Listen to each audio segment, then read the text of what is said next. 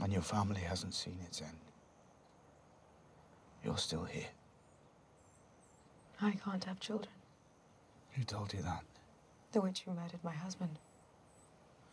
Has it occurred to you she might not have been a reliable source of information?